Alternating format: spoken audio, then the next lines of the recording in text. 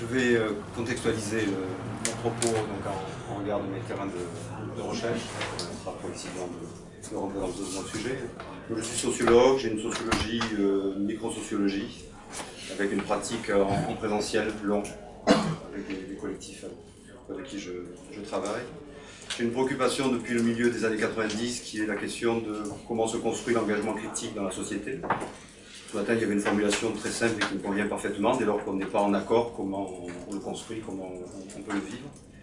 Et je l'ai travaillé auprès de collectifs qui retiennent l'hypothèse d'expérimenter de, des manières de vivre, des manières de, travailler euh, différentes pour justement montrer euh, ce désaccord avec le fonctionnement d'ensemble de, de, la société, pour marquer une, une distance vis-à-vis -vis des institutions existantes, etc. Parce que dans mes travaux, j'ai noté des pratiques en expérimentation sociale et, politique. Avec cette idée forte, me semble-t-il, où le rapport critique vis-à-vis -vis de la société est un rapport qui est éprouvé, vraiment dans la double acception du terme, c'est-à-dire effectivement ce rapport est éprouvé parce que vécu, et éprouvé au sens d'un peu de laisser erreur, hein, certaines hypothèses en termes de mode de vie, en termes de mode d'activité, qui va faire qu'à un moment donné, peut-être cette dynamique critique va un petit peu se maintenir pour être plus précis, mettre des mots hein, qui, permettent de commencer à figurer, à se représenter les, choses. Il y a trois, trois, composantes, trois sensibilités assez collectifs. Le phénomène des friches euh, au cours des années 90, qui a été surtout euh, investi par euh, une sensibilité d'artiste, c'est un petit peu réducteur. Voilà. C'est-à-dire en regard de, du film qui fermait, d'ateliers qui fermaient, de garages qui fermaient dans les villes nombre de collectifs euh, d'artistes euh, sont venus occuper ces lieux. Euh, à la fois parce que pour travailler, ils avaient besoin d'espace, que les institutions classiques ne leur permettaient pas d'accéder à un espace suffisant. Mais ça, va, ça allait au-delà, je pense que c'était dans leur manière d'engager leur art dans la société. Ils souhaitaient effectivement expérimenter des manières de travailler plus en collectif, de penser leur activité à l'échelle d'un lieu et de penser leur activité dans une interaction avec le tissu urbain, etc. J'y reviendrai le phénomène des, des, friches. Le ministère de la Culture a tenté de le rattraper à travers un label des nouveaux territoires de l'art des années 2000 qui n'a pas beaucoup produit, hein, etc. Et là, on a une situation un peu paradoxale où on a encore des collectifs dans une radicalité qui occupent illégalement des friches euh, accessibles.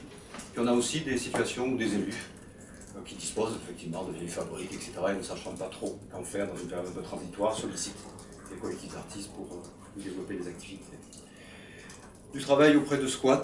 Alors la différence que, j'opère, du côté des friches, on est euh, dans un lieu d'activité, un lieu de vie d'activité, sans nécessairement un lieu de vie au sens d'hébergement, d'habitat.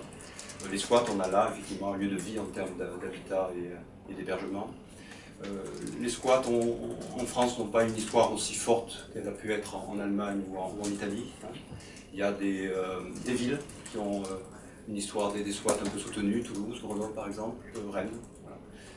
Euh, les squats aujourd'hui se rencontrent euh, un obstacle majeur, hein, qui est la question de la disponibilité urbaine, du bâti, le, coût, etc., fait qu'il y, a très peu à occuper. Néanmoins, petit réseau, petite équipe de recherche, on a un travail, on essaie d'engager avec un collectif de, squatteurs actuellement. Où le collectif a eu l'intelligence de dissocier euh, ce qui était de l'ordre de leur construction collective, cette communauté, comme souhait de vivre différemment, etc., et puis strictement les occupations. Qu'ils ont pris conscience que les occupations ne tenaient pas, et qu'il fallait que la communauté tienne indépendamment du fait que le lieu occupé pouvait euh, lâcher assez vite. Euh, un petit collectif pour donner comme ça, je commence à donner des profils dans lequel il y a un boulanger, dans lequel il y a une assistance de service social en formation, dans lequel il y a les étudiants qu'on rejoint habituellement, dans lequel il y a un artiste et puis des personnes qui ont des trajectoires de, de vie un, petit peu, un petit peu longues. Dans un squat Dans un squat.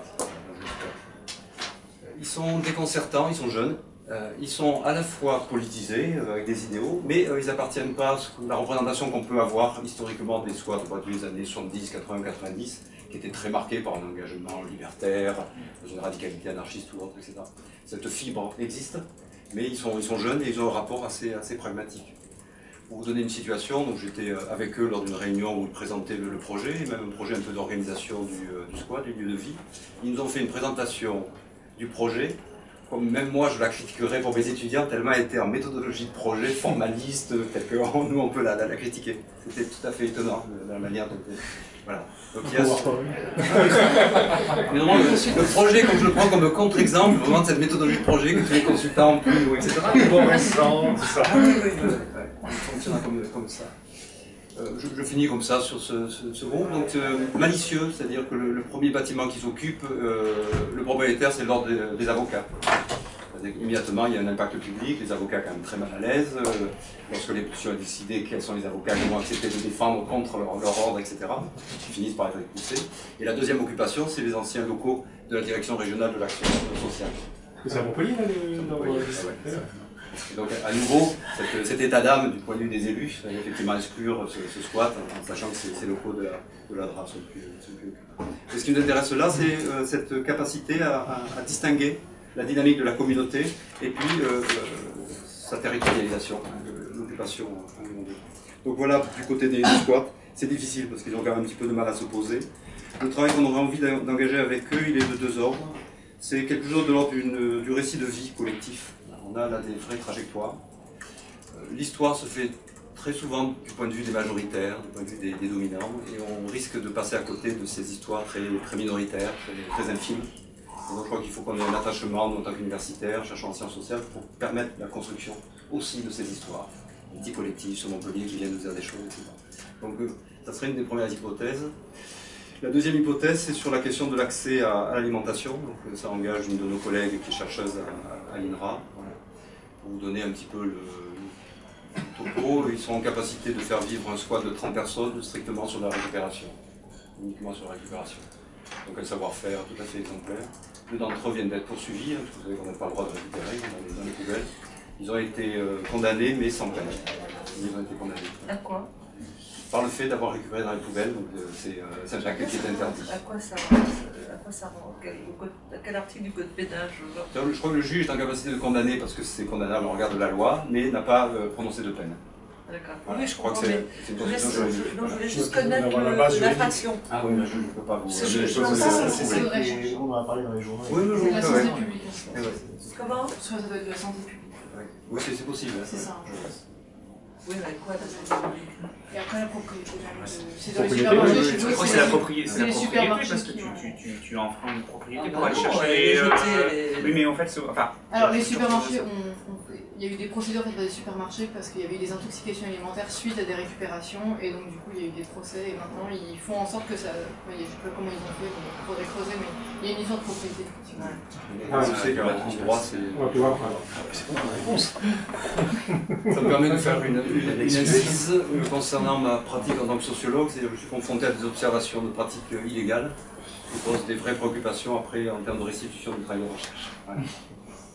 Donc à l'instant, je vais essayer, donc le propos là, il, est enregistré, ce qui ne pose pas de souci, mais qui m'amène à une vigilance du point de vue, je brouille un peu certains, certains repères parce que j'ai certain nombre d'interlocuteurs dans ces squats, etc., qui sont très vigilants sur la façon dont la recherche se conduit, la manière dont la recherche peut être restituée. J'ai une recherche difficile avec une jeune étudiante sur une ZAD, une zone à défendre, où les pratiques légales sont bien sûr avérées, où elle a un travail tout à fait exemplaire en termes de sociologique, et là on est vraiment en préoccupation de quel devenir à cette recherche. Pour vous dire, et pourtant je peux vous assurer, je suis quelqu'un qui n'a pas de rapport paranoïaque aux situations. Un de, de, ces textes, elle les adresse par voie postale et non plus par mail, parce que, euh, très engagé, effectivement, est obligée d'avoir cette, cette, vigilance.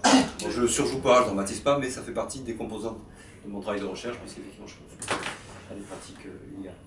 Donc euh, c'est friche, tonalité artistique, donc c'est squat, c'est difficile, ils sont assez peu nombreux. Et puis des collectifs qui m'intéressent peut-être plus aujourd'hui, j'ai un petit peu de mal à caractériser, des collectifs qui font le choix d'une autonomie d'activité pour arriver à construire un, projet de, vie. Alors, ils saisissent, j'ai envie de dire, des niches économiques, du type une boulangerie, une auberge, un, bar. Euh, autre exemple que j'ai en, Bretagne, par exemple, beaucoup de vergers ou de pommiers qui étaient plus entretenus. Donc le collectif s'est mis à produire du cidre et à proposer aux propriétaires de reprendre l'entretien euh, des arbres fruitiers de recueillir les fruits et en retour de donner un certain nombre de, bouteilles de, cidre.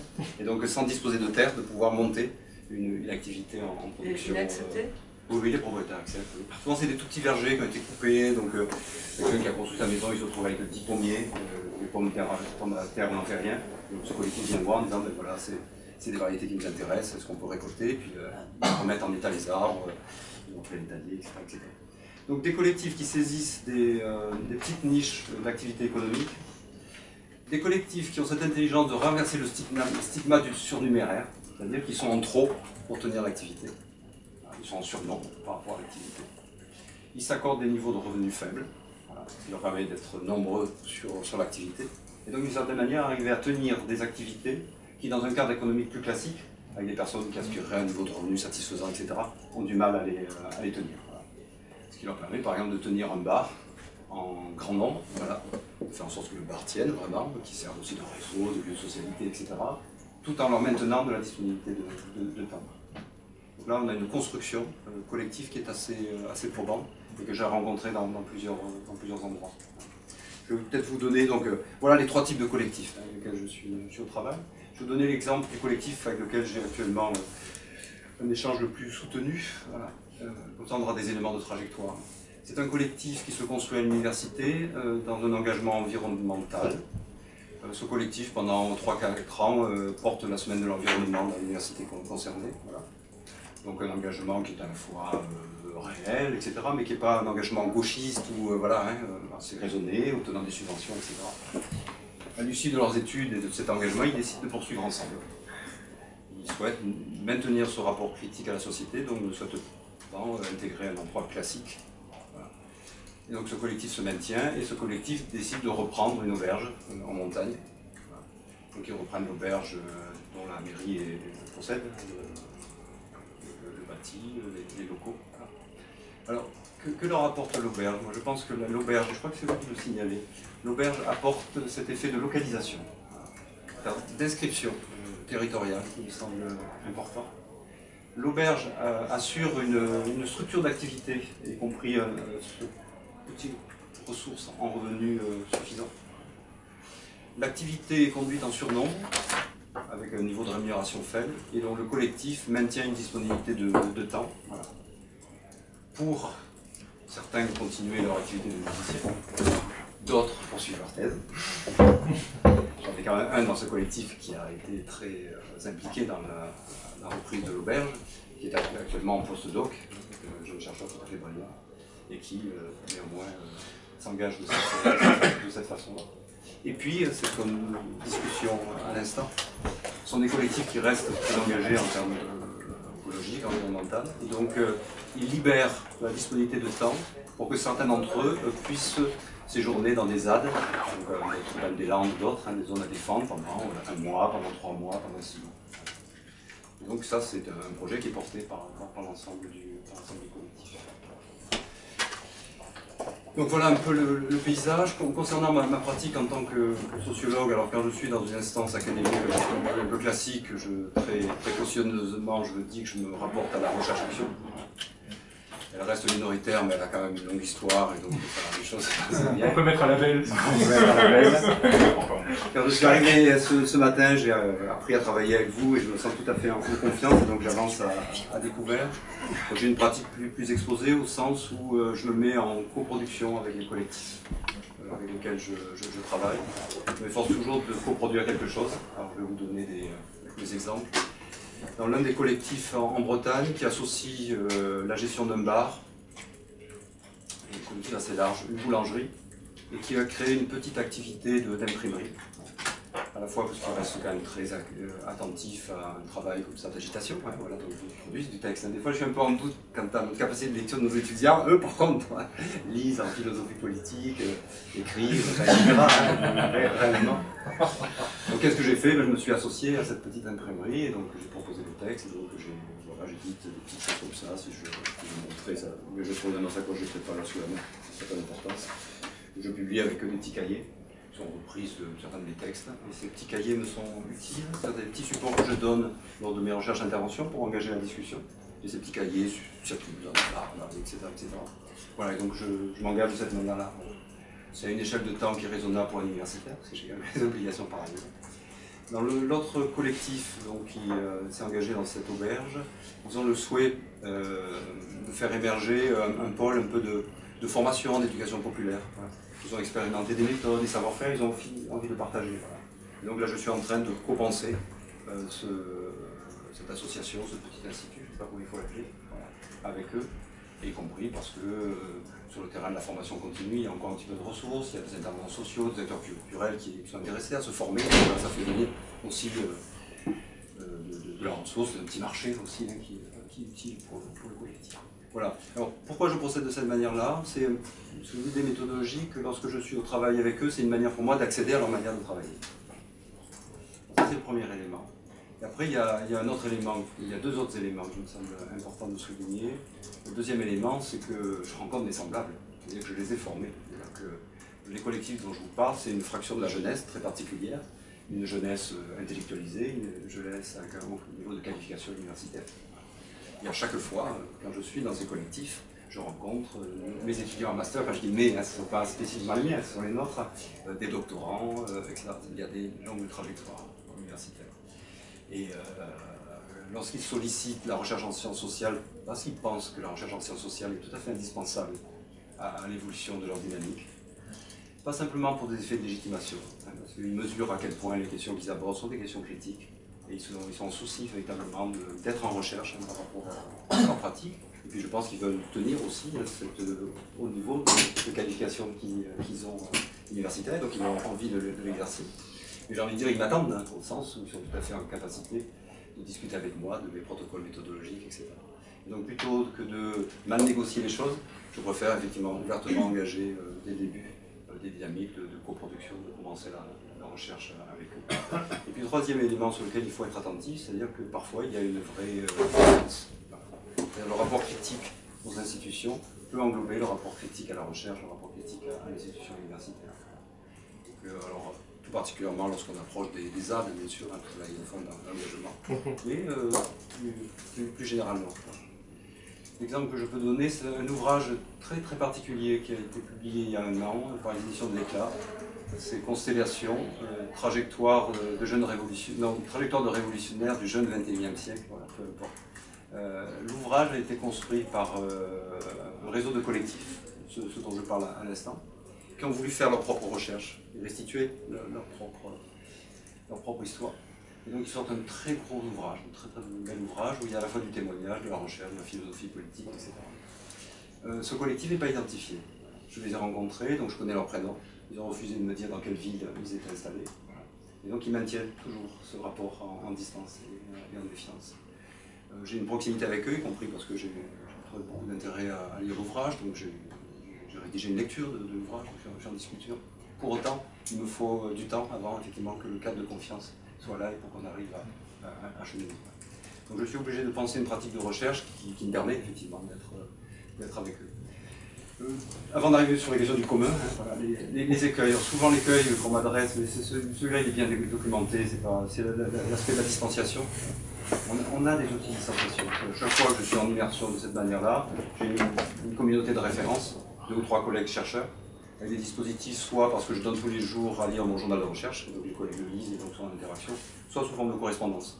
On s'écrit à 3 4 euh, régulièrement, etc. Donc un petit, petit dispositif.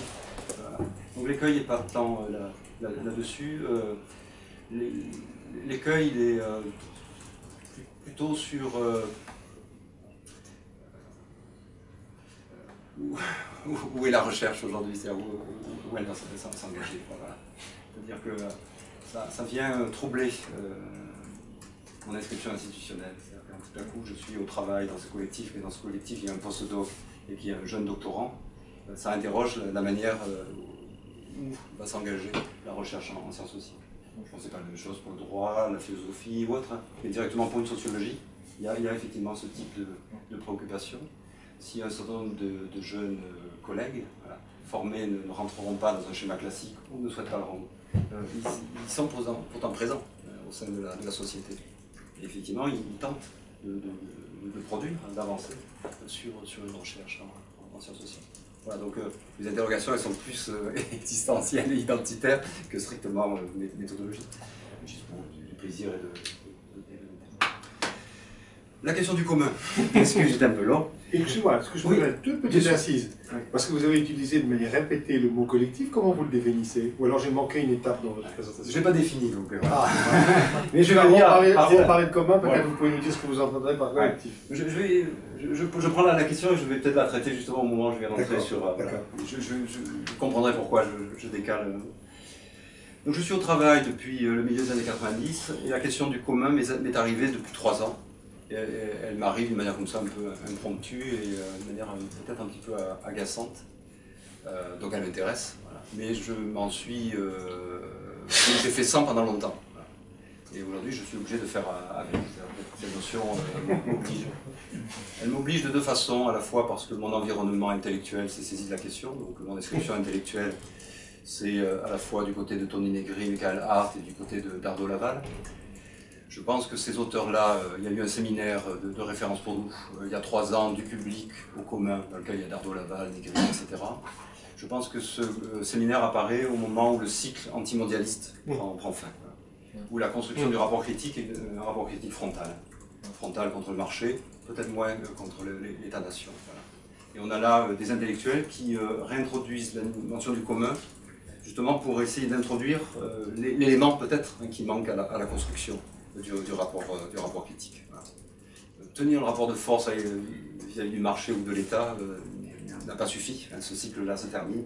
Il faut peut-être arriver à élaborer euh, des éléments plus consistants, etc., pour effectivement faire vivre ce rapport. C'est une de mes, hypothèses. Donc le, commun arrive par, par, filiation théorique, par affinité théorique, et puis il arrive sur le terrain de, recherche. Ces collectifs s'en saisissent très, très, très rapidement. Donc là, moi, de manière assez pragmatique, en tant que sociologue, dès lors qu'ils s'en saisissent, ça veut dire que cette catégorie vient dire quelque chose, vient faire sens, et donc j'ai besoin effectivement de, le travailler. Donc je suis dans une période comme ça un petit peu déroutante où je suis en train de reparcourir mes années antérieures de, recherche pour voir euh, si je mobilise la catégorie du commun, en quoi elle est probante et en quoi elle fait bouger le type de recherche, le type d'analyse que j'avais pu construire précédemment en me dispensant de cette, notion. Et puis euh, je la réengage plus directement avec les, collectifs euh, en soi un petit indice. En 2007, je crée mon site de recherche personnelle, je ne voulais pas qu'il soit en nom propre, donc je cherchais un nom, comme ça par hasard. J'en ai laissé beaucoup, beaucoup hein, les domaines étaient pris, et je tombe sur le commun. Et donc je retiens le commun, par amusement sociologique, commun, ordinaire, commun, etc. Mais sans enjeu. En 2007, il n'y avait strictement aucun enjeu d'un terme qu'on utilisait, etc. Aujourd'hui, je ne l'utiliserai pas pour mon site personnel. Et je suis embarrassé d'avoir pensé de cette manière. C'est simplement pour montrer à quel point la notion, en tout cas sur mes terrains, dans mon paysage, acquis une acquitté qu'elle n'avait pas il y, a, quelques, années. Donc avant de caractériser en termes de commun, euh, comment je travaillais antérieurement? Ben, Effectivement, je raisonnais en termes de, collectif. Et derrière le, collectif, pour éviter de trop le, durcir ou euh, d'essayer de penser qu'il y a là un sujet, tel qu'on en rêverait, ce sujet collectif, etc. J'ai toujours été attentif à ce que collectif, pour moi, vienne désigner avant tout des processus derrière collectif, il y a à la fois des processus liés à l'activité, de la coopération, de la mutualisation, et que le collectif renvoie à des formes de gouvernance, pour le dire un petit, peu des formes d'autonomie dans la, conduite de, l'activité, etc. Donc euh, je ne caractérise pas tant le collectif comme tel, euh, que d'essayer plutôt d'identifier des processus qui participent effectivement de ce mouvement, euh, de ce mouvement collectif dans ma filiation théorique, plutôt du côté de Foucault, Deleuze, etc., je, formulerais plutôt ça en termes de subjectivité collective, et pas de sujet. Subjectivité au sens, c'est une activité, ce sont des agencements, ce sont des coopérations, c'est bien tout ça hein, qui, est vraiment, qui est vraiment le travail. Donc, euh, pendant toutes ces années-là, mes catégories d'analyse, c'est beaucoup la, question de la coopération. J'ai beaucoup pensé que la coopération ne se réduisait pas à la coordination, donc la coopération incluait une dimension d'administration politique, hein, de, conception euh, politique dans la conduite de l'activité. pendant longtemps, effectivement, j'ai utilisé la, coopération de manière assez, assez large. Donc aujourd'hui, j'en arrive à, cette dimension du commun. Donc euh, j'ai tenté effectivement de, formuler en termes de commun que j'ai pu observer dans ces différents, collectifs. Donc je vais vous euh, restituer un petit peu ces, euh, différentes hypothèses. Euh, ce collectif en montagne qui reprend une auberge, donc, en écho à nos travaux de ce matin, donc pour moi le, commun n'existe pas comme tel, il il est fabriqué, hein, il est, constitué. Il me semble que ce collectif constitue trois types de communs, c'est-à-dire trois modalités de communalisation. Un, il communalise le temps, il communalise euh, la ressource financière, l'argent, et il communalise le, savoir-faire. Ça paraît vraiment les, trois axes très, très actifs dans ce, collectif. Alors, communalisation du, savoir-faire, euh, j'ai envie de dire par la force des choses, c'est-à-dire qu'ils sont obligés de tenir une activité. ils ont tenu l'objet pendant un an, et l'objet c'est un bar, c'est un restaurant et c'est de l'hébergement, c'est des randonneurs. Mais plus largement, c'est-à-dire que l'auberge euh, n'est pas un isolat. L'auberge s'inscrit dans un réseau. Par exemple, dans le réseau, il y a un boulanger qui vient de, s'installer, qui participe de la même euh, sensibilité. Ce boulanger seul peut tenir son activité ordinaire. Dès lors qu'il a une commande plus spécifique liée à un événement, etc., il ne peut pas faire face. Et donc, collégialement, ils ont décidé effectivement que l'un d'entre eux, ce commun de la compétence, allait se former à la boulangerie non pas pour devenir boulanger, mais pour pouvoir, du jour au lendemain, dans l'instant même, euh, épauler ce boulanger qui fait partie effectivement de leur maillage de, l'activité. Et le choix apporté sur un jeune étudiant avec lequel je travaille, qui par ailleurs est jeune brillant en master de sociologie. Et donc du jour au lendemain, je découvre qu'il se forme à la boulangerie. Donc j'étais un peu étonné, je dis mais tu quittes la sociologie pour devenir boulanger? Pas du tout, euh, simplement cette compétence était indispensable et il l'a construite le commun dans nos compétences, un autre collectif. Euh, je n'ai pas mené une recherche directement, mais je suis en échange, en, discussion avec eux depuis longtemps. C'est un collectif alors, de, pratiques urbaines, euh, sport de glisse et euh, roller, etc. Un engagement critique dans le rapport à la société sur deux registres importants pour eux. Le refus d'être assigné à l'identité adolescente, hein, comme le font les marques de vêtements, les marques de chaussures ça a toujours été le cas pour eux, mais la première génération des rollers urbains a maintenant 30 ans. et puis un refus, donc un rapport critique, un refus d'être assigné à, l'activité sportive, dans lequel les institutions publiques veulent toujours les renvoyer. Donc créer un skateboard, créer une association sportive, créer une fédération, etc. Ils maintiennent ce rapport euh, urbain, cette, pratique urbaine. Ce collectif, à un moment donné, donc, euh, doit disposer d'un outil hein, qui est un, camion hein, matériel, le déplacement. Euh, le camion torontal comme, comme, il se doit, et à partir de là, il y a euh, cette communalisation du temps et de la ressource et de la compétence, hein, les, trois. Soit c'est un temps de travail McDonald's pour obtenir les 5-6 000 euros qui sont nécessaires, soit c'est un temps euh, consacré à, l'apprentissage. Et donc, deux, trois d'entre eux du collectif se sont formés à la réparation automobile, la réparation du, camion. Il se trouve qu'aujourd'hui, il y a le mouvement des makers, et donc sur Internet, on trouve effectivement l'ensemble euh, des informations pour euh, faire un moteur et le, remonter. Et les, réseaux de solidarité font effectivement. Donc ça leur prend dix fois plus de temps. Mais dans cette communalisation du temps, de l'argent et de la compétence, ils considèrent qu'au final, le, collectif en sort euh, grandi, en sort renforcé. Et aujourd'hui, ils ont le camion et la capacité à le réparer, et le réparer lorsqu'ils sont en badrouille, etc. Pour moi, là, c'est de l'ordre de la constitution d'un commun. Et un commun, effectivement, je vais formuler rapidement ce matin, euh, qui, vient obliger, qui vient pas contraindre, sincèrement, sincèrement mais qui vient obliger, très, très fortement. Ce, jeune étudiant qui se forme à la boulangerie, personne ne l'a obligé. Obligé au sens de contrainte. Il aurait pu dire non, etc. Mais il s'est senti obligé, a participé effectivement de cette implication continuée hein, qu'on du coup, j'ai du mal à voir la différence. Alors, qu'est-ce que vous obligez Ça veut dire c'est quelque chose qui c'est une force, c'est une force intérieure, quoi. C'est pas contraint. Voilà, c'est une force intérieure. C'est une énergie qu'ils ont envie d'injecter là-dedans.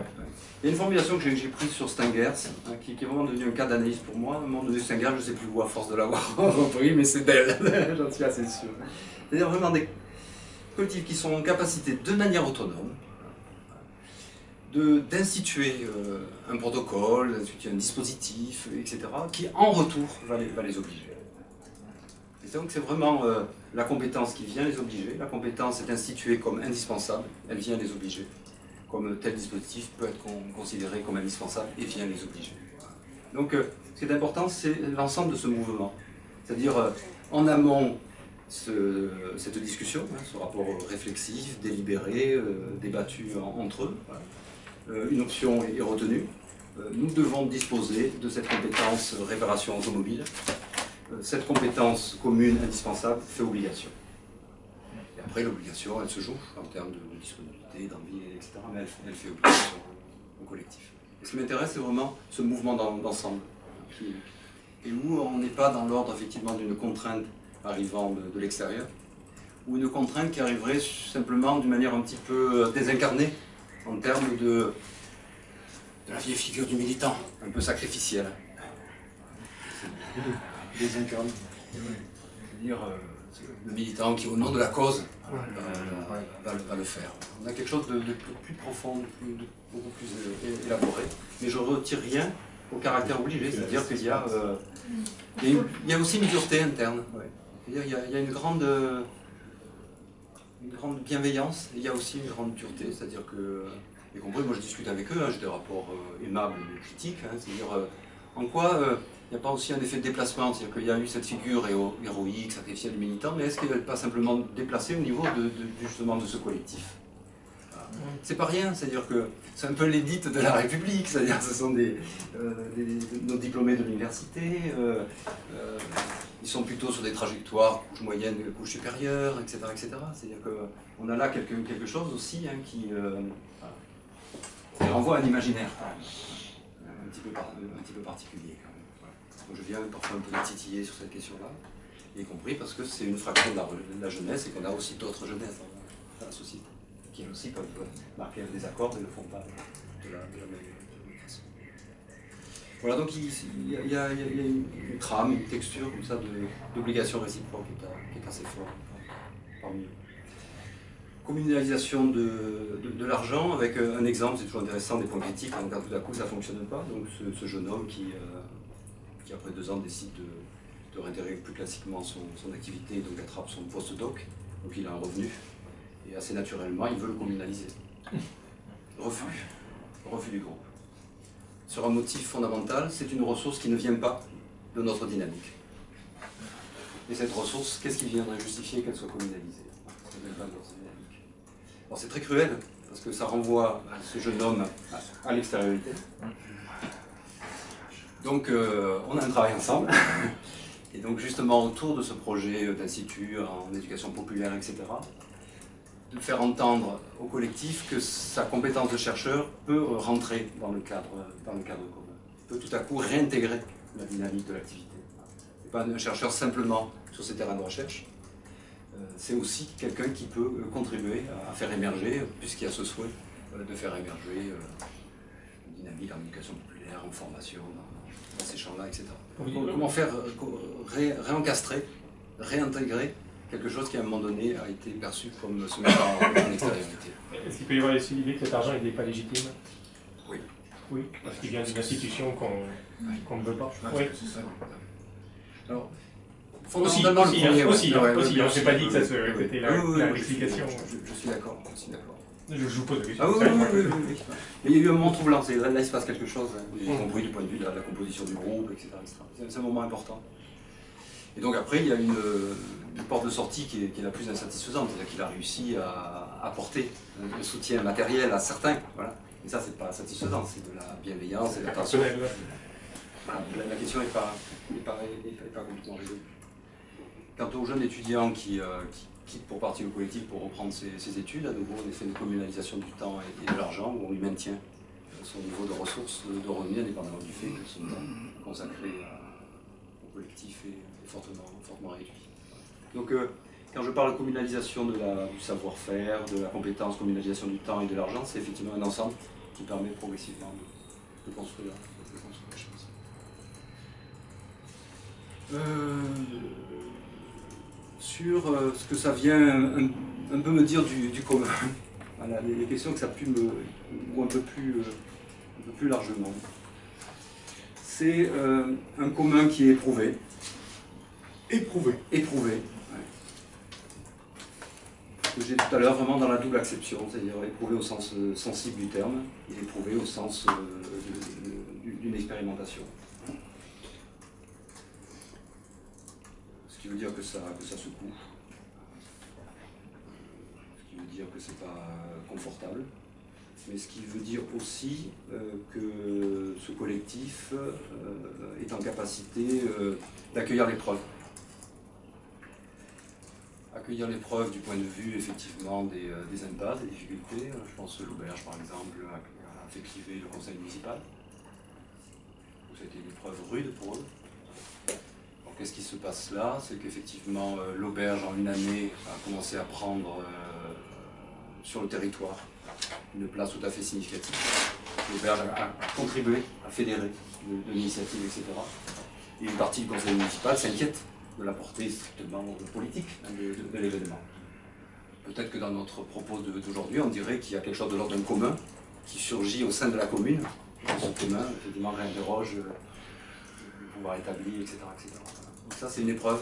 Ça les a beaucoup euh, secoués. Donc, ils ont dû effectivement euh, composer avec euh, des, accords, des accords et de cheminer ces Accueillir l'épreuve, c'est aussi en, termes de, ressenti, en termes affectifs. Hein. C'est-à-dire que quand ils ont dû tenir l'auberge à plein niveau d'activité en étant quand même relativement incompétents, les fins de semaine ont pu être difficiles, des personnes très éprouvées, très, très en doute, etc. donc comment faire pour les aider à ce qui fait qu'à un où je suis particulièrement attentif, mais là il y a un effet de génération, puisque je me suis formé en termes militants dans d'autres contextes, dans des organisations où il n'y avait pas beaucoup de bienveillance à la personne, et il n'y avait pas beaucoup de capacité d'accueillir justement l'épreuve et, le ressenti.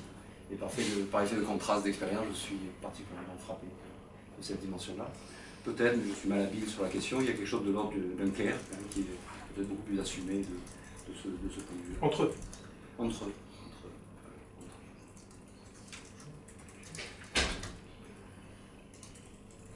Pas la bienveillance, je dirais, c'est entre eux. Ah, entre eux. Il y a une attention à ah l'autre, à ce qu'il est, sa souffrance, ou son... Oui. Ouais.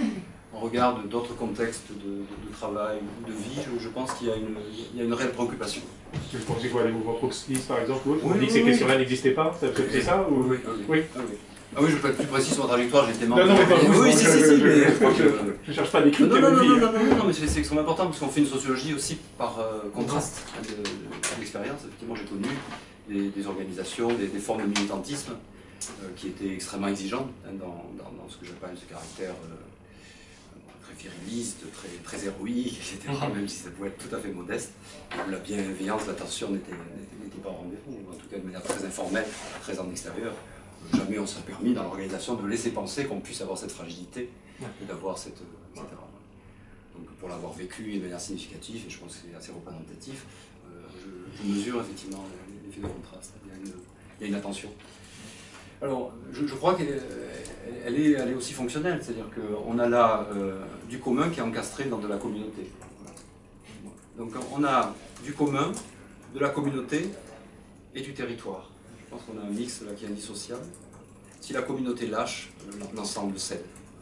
Donc cette euh, attention, cet accueil de la vulnérabilité, etc., il est tout à fait essentiel. Il faut que la, la, communauté euh, persiste, etc. Communauté dans ce sens-là, c'est le collectif. Oui, la communauté de vie. Communauté de vie, communauté d'activité. Je fais un déplacement, c'est-à-dire peut-être il y a quelques années, j'aurais parlé de collectif. Aujourd'hui, effectivement, j'opère ce déplacement, on a une communauté de vie comme une communauté d'activité de relativement long terme. Hein. Là, le collectif je parle est à 5-6 ans, des connaissances de collectifs qui sont à 10-15 ans. La question des enfants s'est posée, etc. Donc, j'ai à nouveau, ils sont très très minoritaires, mais on a des, expériences euh, probantes qui, qui, insistent un peu sur ça. Donc rapport à la, communauté, rapport au, territoire. ça c'est quelque chose que j'ai observé depuis longtemps, depuis mes travaux euh, sur, les, sur les friches. Si je reviens sur l'expérience des, friches, donc on a là des artistes qui occupent et qui n'occupent pas dans le sens de, se trouver des, ateliers d'artistes, hein, si c'était nécessaire, parce qu'ils en, ils en manquent, etc. Où ils ont besoin de ce lieu pour conduire leur activité. Mais euh, ils ont aussi besoin d'encastrer leur activité euh, dans, la, société. Leur art ne... que l'art s'inscrive dans la art territorial, mais c'est pas... Non, non, non.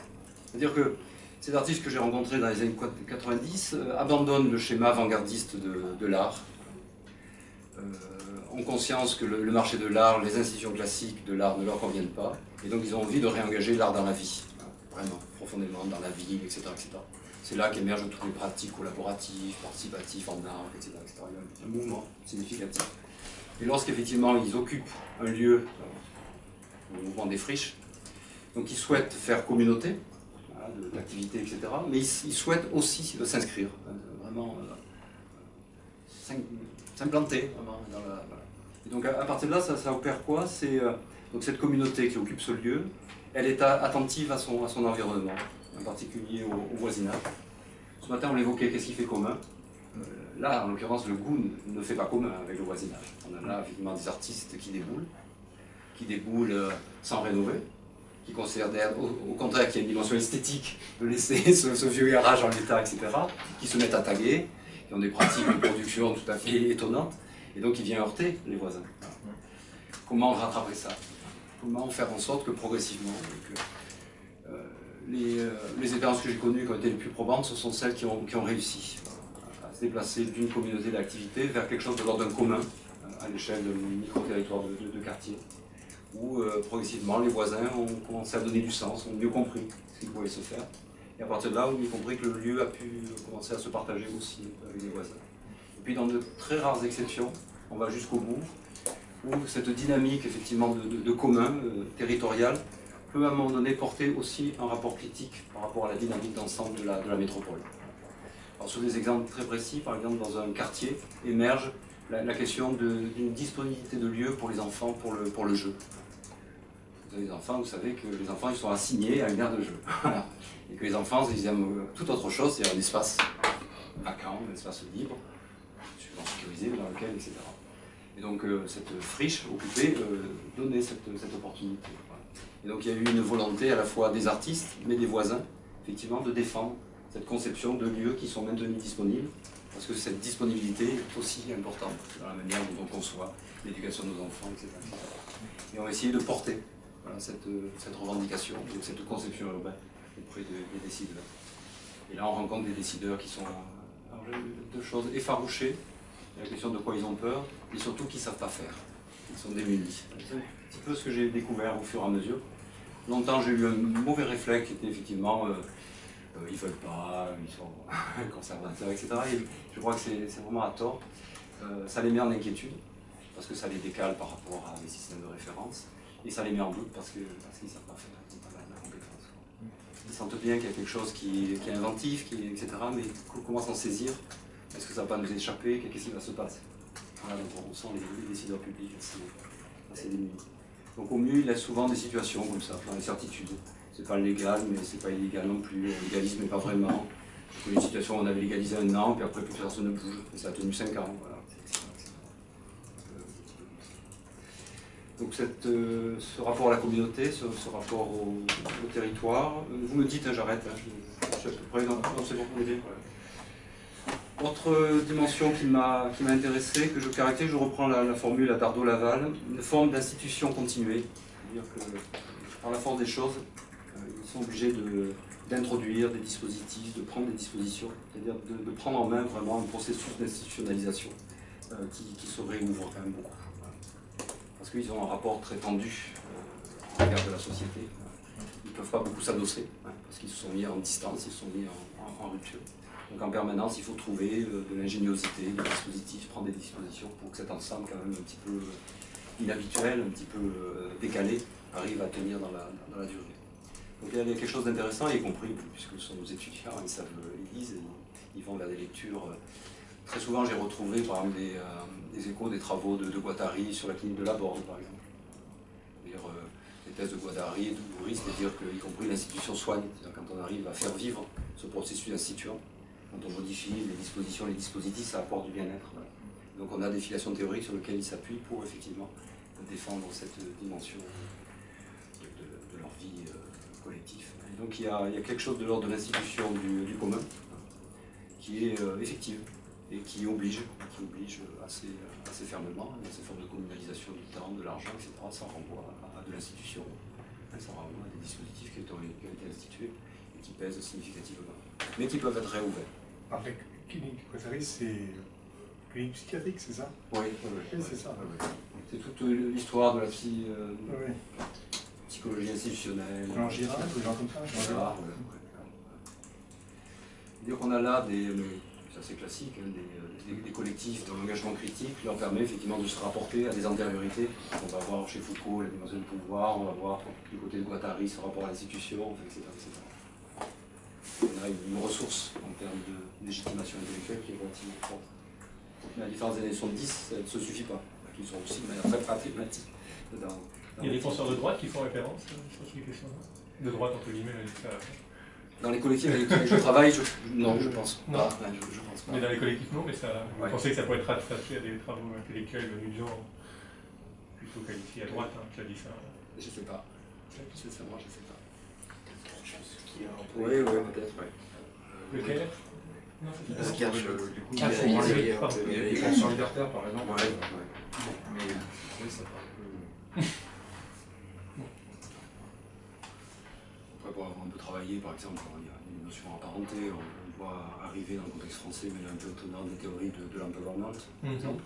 Quand on refait la généalogie des théories de l'empowerment, elles euh, sont bûches, elles ont été mobilisées dans un cadre complètement réactionnaire, motif euh, quand une personne prend en main euh, leur destin, et c'est à moindre coût quant au fonctionnement de l'État-providence. Mhm. Donc voilà, je suis très foucalien de ce point de vue-là, je pense qu'il y a des effets de réversibilité très, très forts pour moi, ce commun dont je parle, c'est aussi un commun qui, peut être en basculement, qui peut être en réversibilité. C'est tout à coup cette communauté qui porte, qui soutient, elle peut aussi euh, devenir effectivement euh, la communauté qui, presse, euh, etc. C'est pour ça que cet aspect d'institution continue est assez important parce que je crois qu'on est sur des effets de réversibilité, de basculement assez, assez. Mais avec des effets quand même néanmoins néanmoins de continuité.